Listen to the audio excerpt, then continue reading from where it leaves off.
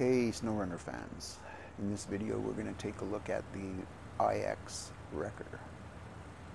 Instead of um, running it through the obstacle course the way that I do with all other trucks with nothing on the frame, I'm going to take a different tact in this video and have the Wrecker do what it's intended to do, that is transport another vehicle from point A to point B through different conditions here we can see it going through the mud puddle, which is the first of three obstacles I usually take my trucks through.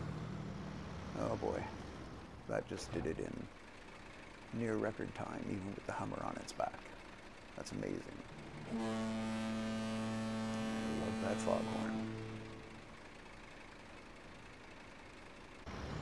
Alright, so from the mud we move on to one of my favorite playgrounds for new trucks. That is the quarry just outside of Smithville Dam today I'm going to take a little bit different tact and a bit of a different route than I normally do through here though. Normally I take a right down at the bottom and then go over and take a relatively steep ramp down to the middle of the quarry and then continue on to the bottom from there. But considering I've got the Hummer on my back, I'm going to take it along a little bit of a slower route. It's slower, but not really all that much less treacherous. There's lots of rocks along here and it's poorly graded and there are potholes as big as the rocks. It's not an easy road to drive along, especially with a Hummer on top of you. I'm getting a lot of bunny hopping too, so I keep worrying that the Hummer is going to go flying off the back of the rollback. Wouldn't want that to happen. We're here supposed to be rescuing the truck, not throwing it off the truck.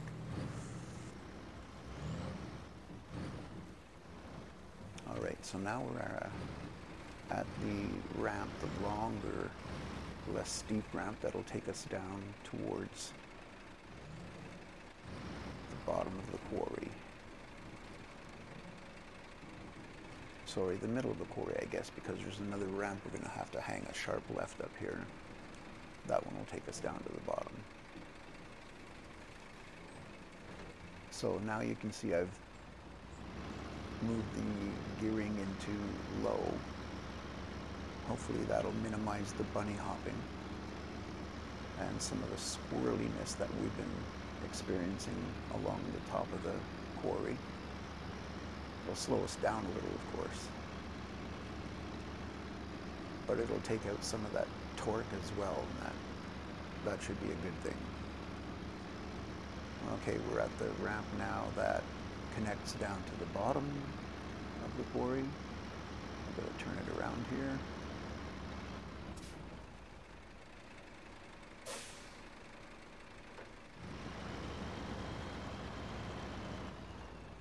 If you've watched any of my other videos where I take the trucks through this obstacle course, you'll note that I usually grab a shortcut down at the bottom of this path here, but I won't be doing that today, I don't think.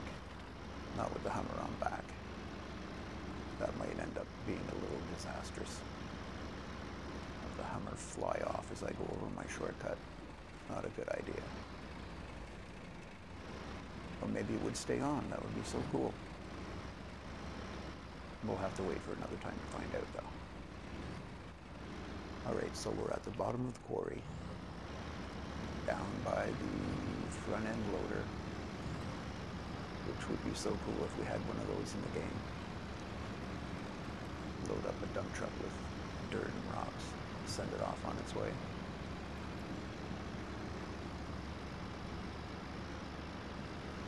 It is very cool to have this wrecker and its bigger sibling, the 3880 heavy wrecker, in the game now with console mods though. Very, very cool to have these two trucks in here, along with others, of course, that have been added in the last few days.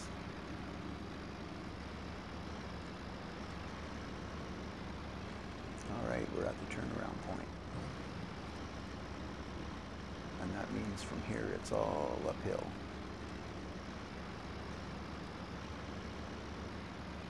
Should be good. I am a little concerned though that the wrecker might not have enough power to get itself and the Hummer up out of the quarry. I've taken the wrecker through here on its own and it showed uh, pretty good strength for its size. Of course, at the time I didn't have the Hummer on back of it.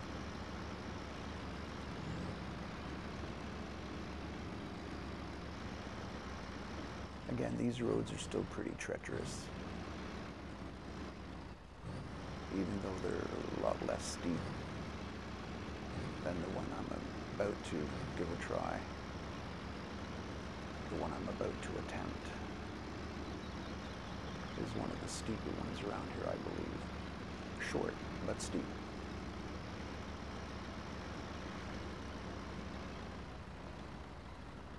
Now, I normally come down this way into the quarry and go back this way out of the quarry, but as I said, I wanted to keep a more stable platform for the Hummer on the way in. But now that we're here, we're going to see if we can get this truck out of here, or these trucks actually. And we're coming up to the turnoff point, just ahead.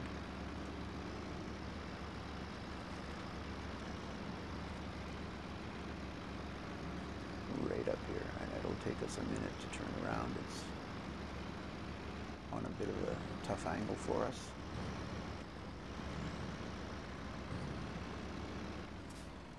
Wrecker has no trouble with it though. Let it back down a little. Put it in reverse.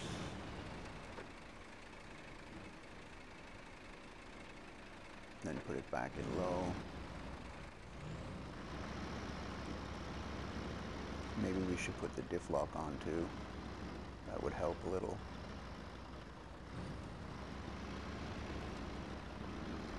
There we go. And all right, we're off. Just a little further.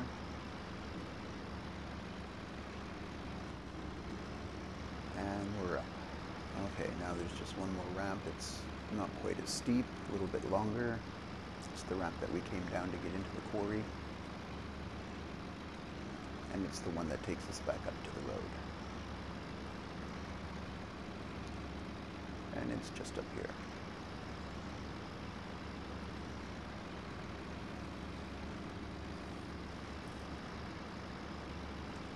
This truck has really uh, surpassed my expectations, though, especially in this video. I truly had no idea how well it would perform with a vehicle being transported on its back.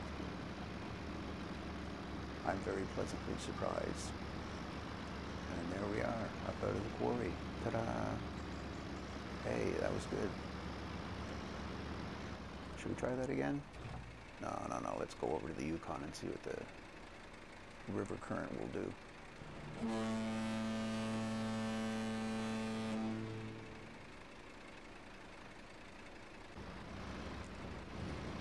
Okay, so we're in the Yukon, and I thought that this time I would, uh, rather than just plunging right in, as it were, I would uh, take it right from the garage and show you where it is that I test and how close to the garage it is in the Yukon map. Really, it's just outside of the map, uh, outside of the garage. Outside of the garage, hang right, come across this little bridge, follow the road around.